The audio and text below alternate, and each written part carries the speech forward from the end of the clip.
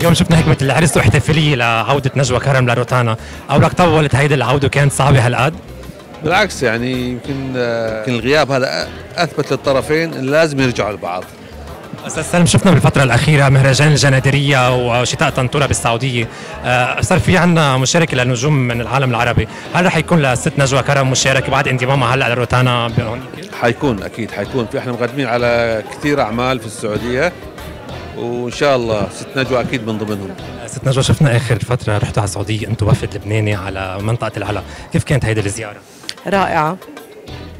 عرفنا إنه في حفلة قريبة عم تتحضر مع روتانا بالسعودية وشفنا الست ماجد لما طلعت قد إيه حكيت وتوترت. أنت إذا بس تقابل الجمهور السعودي عندك شيء هيك شو ممكن يصير؟ أكيد أنا بفهمها. بفهمها لأنه آه، كان الجو آه، كتير سياسي ولما بتعرف بقى واحد مش عم بغني لجمهور وجمهوره يلي حافظ أغانيه ب- بصير معه اللي صار مع ست ماجدة الرومي. أنا بفهمها كتير. وهي بطلة قدرت طلعت غنت. أول ما عرفت إنه نجوى مضيف مع روتانا فرحت من قلبي لأنه نجوى هي من آه، أول فنانة مضيف مع روتانا. يعني بس نقول نجوى روتانا وروتانا نجوى.